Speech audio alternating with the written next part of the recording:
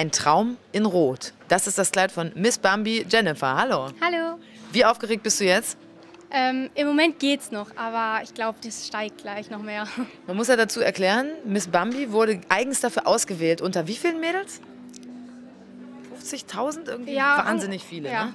Äh, um den Preis, den Bambi heute Abend Justin Bieber zu überreichen. Das ist ja kein Geheimnis. Und sie wird das selber machen.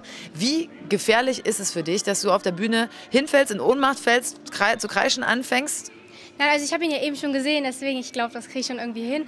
Meine größte Angst ist jetzt auf hohen Schuhen zu laufen. Zeig die mal. Hier, hier. Ja, das, ja, das sind auch so ganz gefährliche Hacken, Ja. ne? die halt auch so ein bisschen, oh, rutschige Sohle auch noch. Ja. Wie geübt bist du mit den Dingern? Ich laufe nie mit hohen Schuhen. Das kenne ich irgendwoher. Ja.